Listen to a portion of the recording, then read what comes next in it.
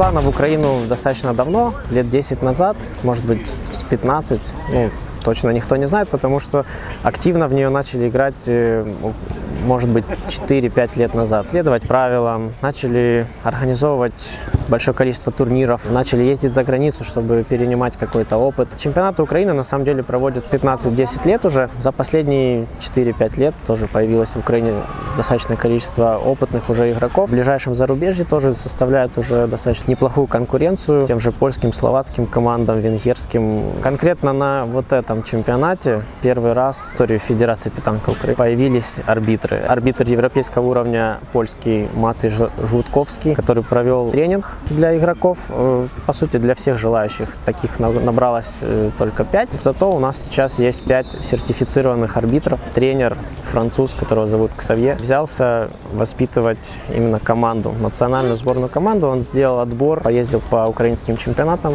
посмотрел, э, выбрал 6 человек, из которых он строил команду, которая поедет на чемпионат Европы во Францию в сентябре этого года. Собственно, он отбирает из этих шести трех-четырех лучших. Сегодня мы играли одиночки, э, один человек в команде, поэтому э, моя задача была э, сделать поинт или тир в зависимости от ситуации. Вчера мы играли триплеты, э, три человека в команде, и там э, каждый человек имеет свою роль.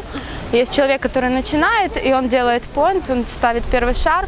Есть человек, который выбивает чужие шары. Очень много зрителей и очень много спрашивают про игру. В Украине больше молодежи, э, количество молод- молодых игроков, чем постарше э, люди. В Европе, э, в некоторых странах это наоборот. Э, Больше э, играют э, люди постарше, пенсионного возраста, молодые реже. Вообще в Украине очень много молодых людей, очень много женщин, дев- девушек молодых в питанке. Это тоже отлич- отличительная черта, потому что в других странах в основном это мужчины. Женщины э, на порядок меньше, реже играют. Питанком занимаюсь 5 лет примерно. Начал как развлечение, как игра, просто как досуг. Постепенно, когда вошел в сообщество в Украине именно э, игроков, затянуло уже как в спорт.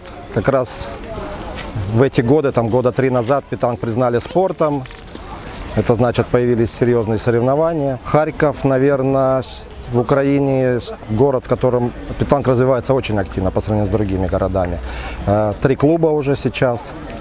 Э, Ну, и в общем количество людей в Харькове, ну, наверное, больше, чем в любом другом городе Украины. Поэтому и условия у нас очень здесь хорошие. Созданы вот специализированные площадки в парке Горького. Ну, в общем, есть все условия. А просто начинающим я рекомендую просто приходить и начинать просто для, для начала просто получать удовольствие, а потом уже думать там дальше, развиваться, не развиваться как спортсменам.